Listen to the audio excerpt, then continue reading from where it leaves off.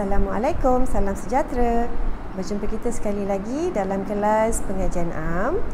Kali ini kita akan teruskan dengan teknik penulisan esei uh, yang seterusnya iaitu uh, penulisan ayat idea. Jom. Baik,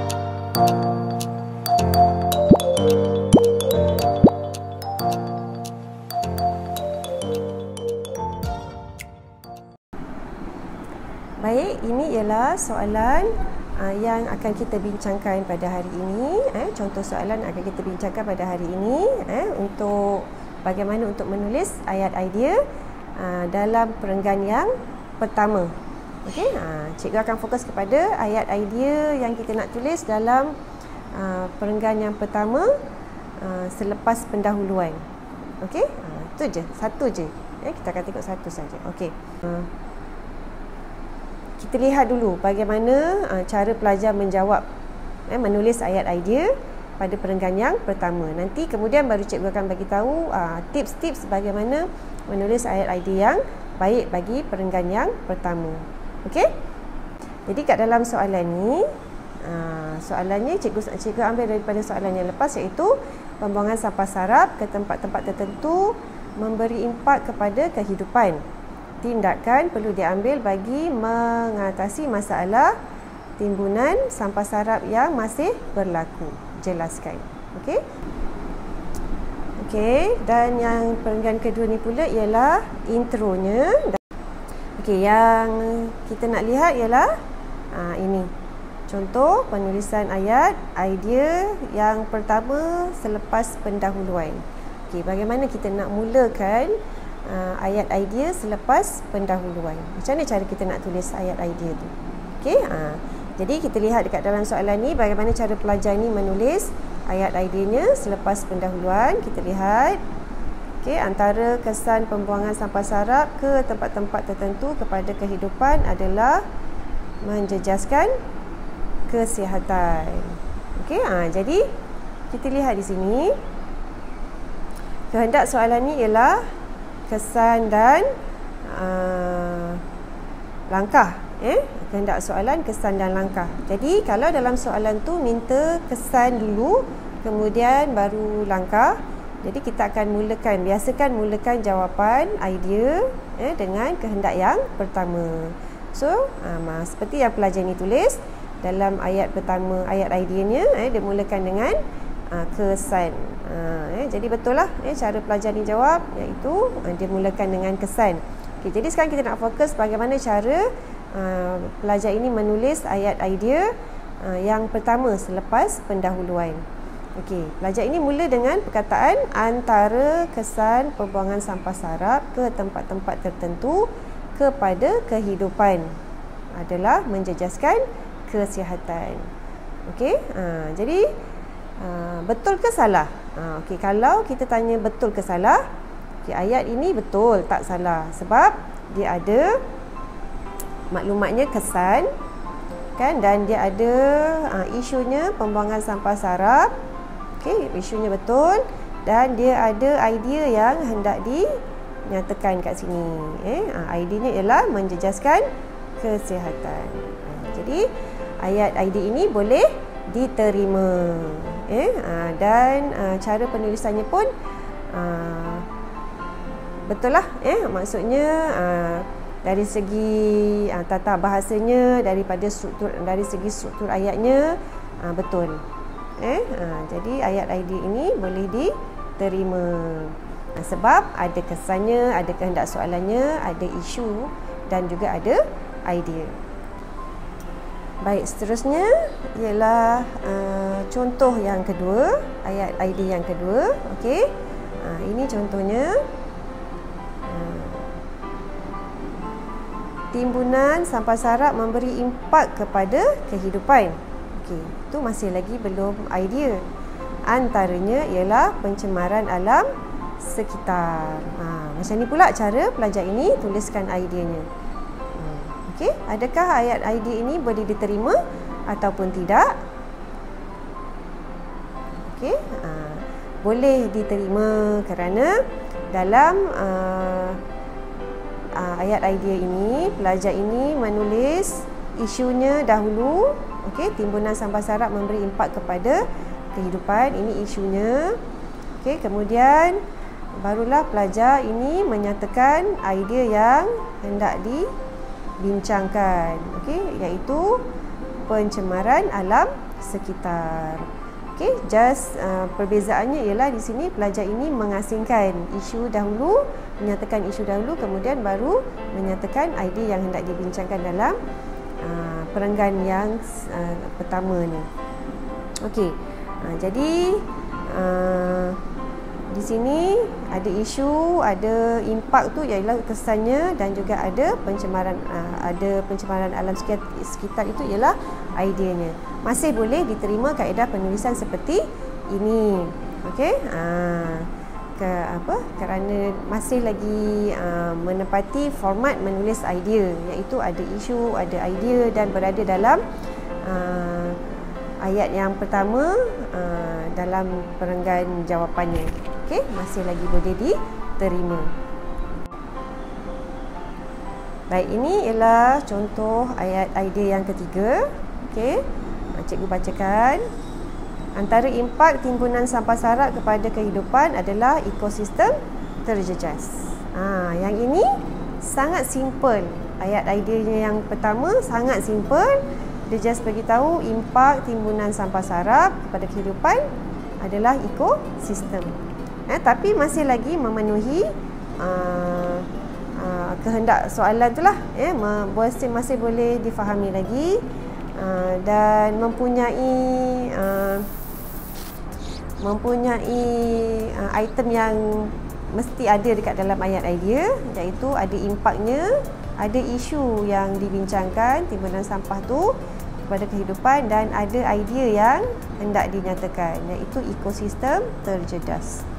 Okey, ada kehendak soalannya iaitu impak, ada timbunan sampah sarap iaitu uh, isu dan ada idea yang hendak dibincangkan iaitu ekosistem terjejas. Okey, jadi masih lagi boleh diterima ayat idea ini. Okey, uh. Okey, daripada sini barulah cikgu nak bincangkan eh apakah ciri-ciri ayat idea yang pertama uh, yang uh, mesti ada eh dekat dalam uh, idea kamu lah eh. Uh, biasanya kan kita dah baca soalan kemudian kita akan buat pendahuluan. Okey hari tu cikgu dah bagi tahu ciri-ciri pendahuluan yang baik.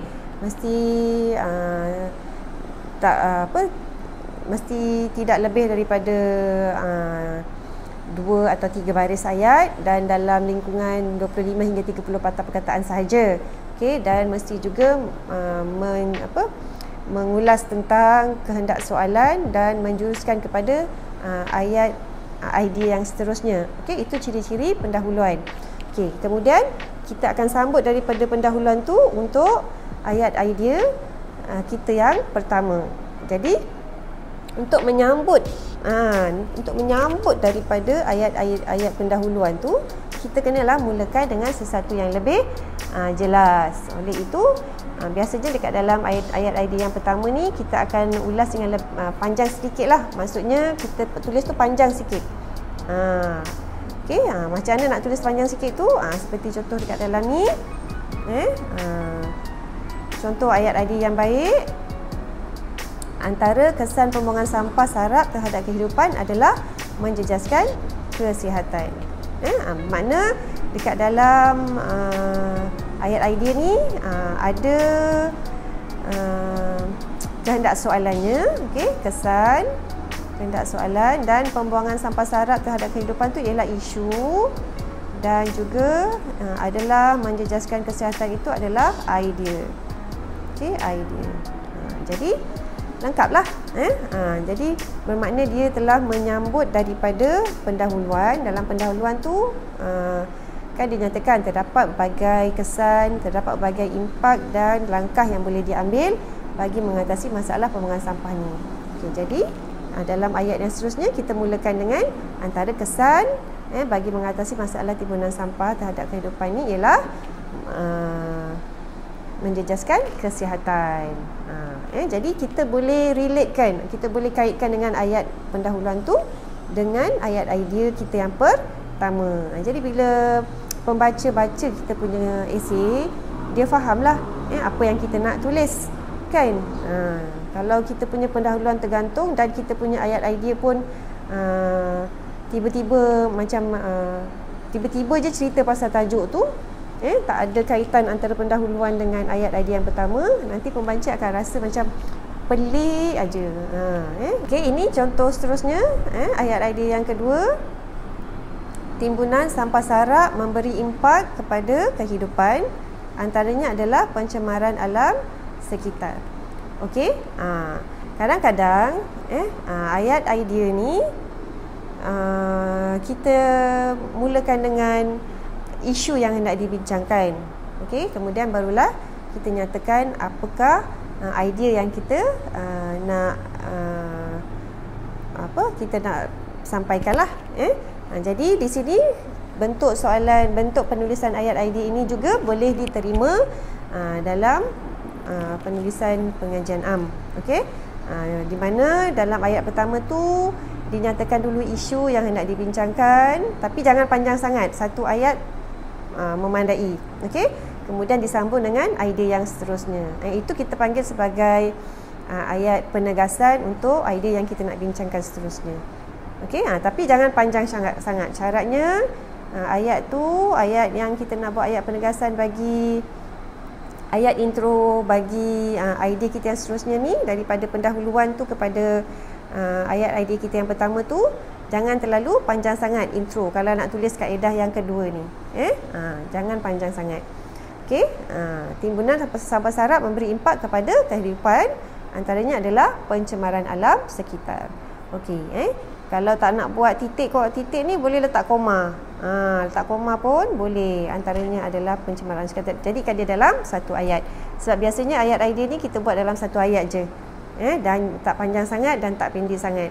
Okey, sederhana eh, Sebab ha, kita akan teruskan dengan huraian Nanti kalau ayat idea panjang sangat dah campur dengan contoh ha, dia, dah, dia dah tak jadi macam berfokus lah eh? ha, Contoh tu biasanya kita asingkan Kita masuk dalam huraian Okey Ha, jadi penulisan ayat idea bagi contoh yang kedua ni juga ha, boleh diterima dalam penulisan uh, uh, pengajian am lah, eh, esei pengajian am.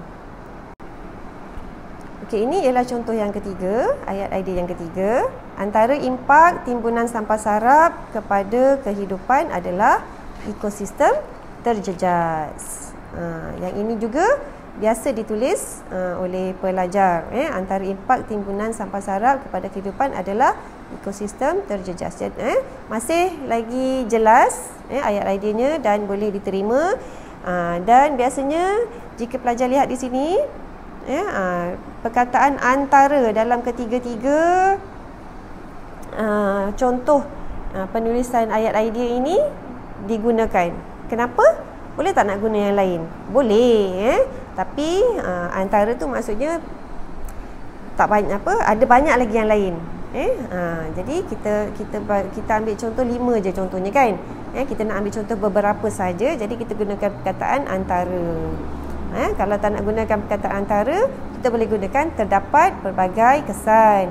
Uh, antaranya ialah, uh, nampak tak macam tu kan? Eh, uh, jadi uh, boleh digunakan dan boleh difahami eh ha, dalam penulisan ayat idea terutamanya terutamanya bagi ayat idea yang pertama.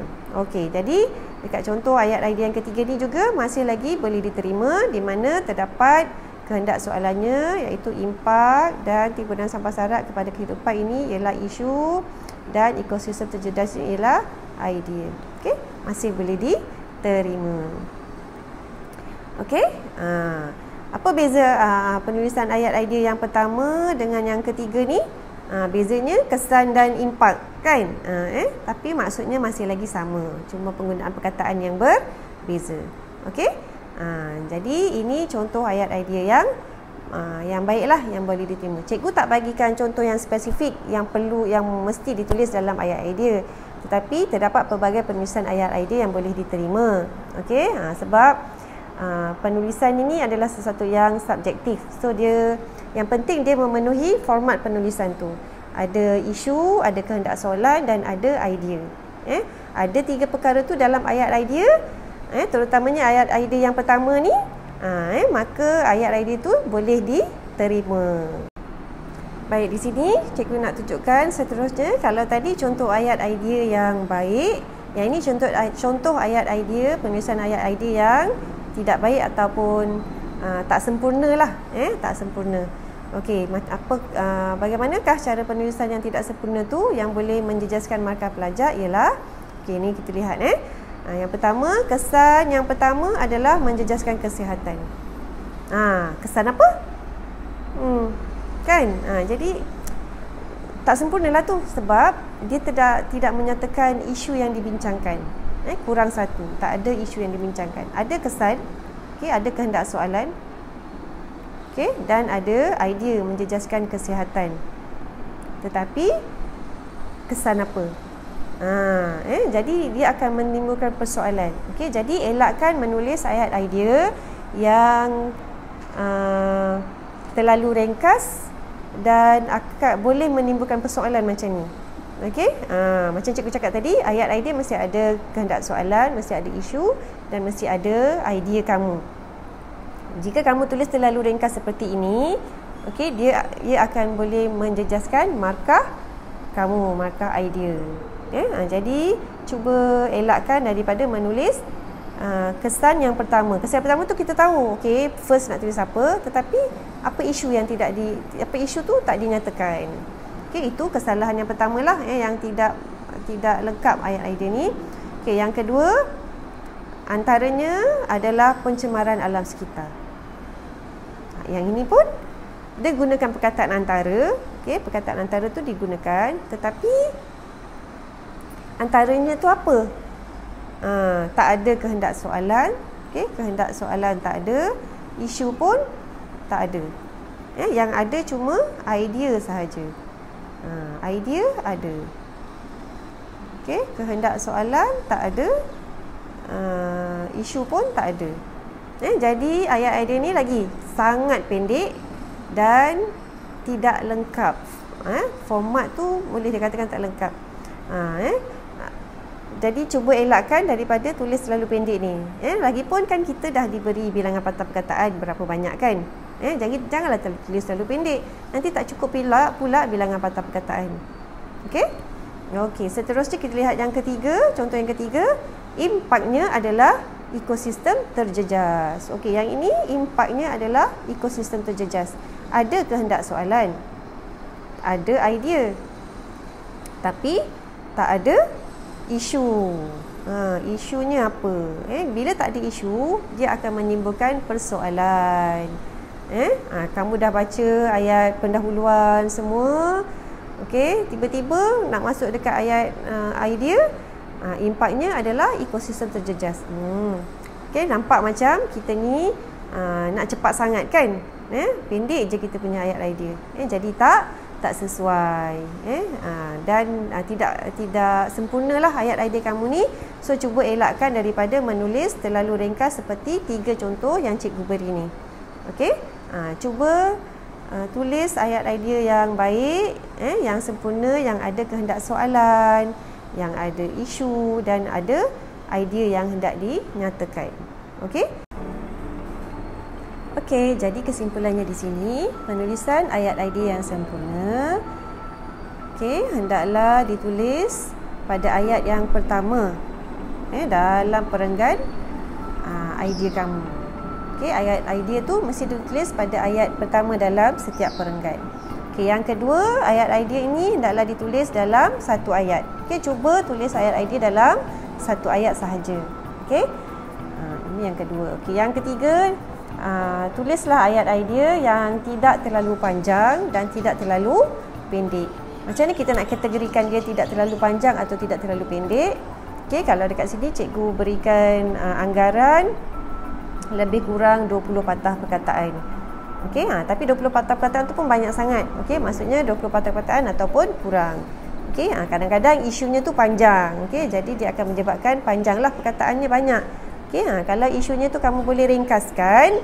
Okey, ha, jadi tuliskan uh, ringkas, ringkaskan isu tu dan nyatakan.